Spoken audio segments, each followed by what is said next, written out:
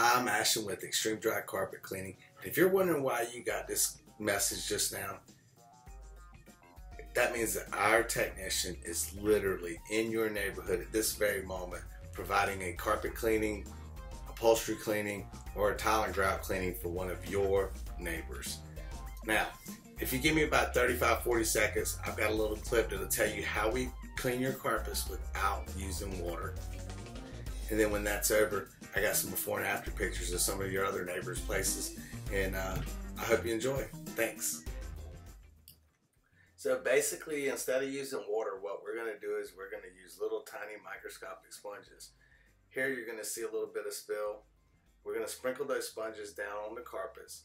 And then we're going to use our machine with two brushes on the bottom to massage those sponges in. As the sponge rubs against the carpet, the cleaner breaks down what's stuck into the carpet. And when that spill separates from the carpet, the sponge absorbs it.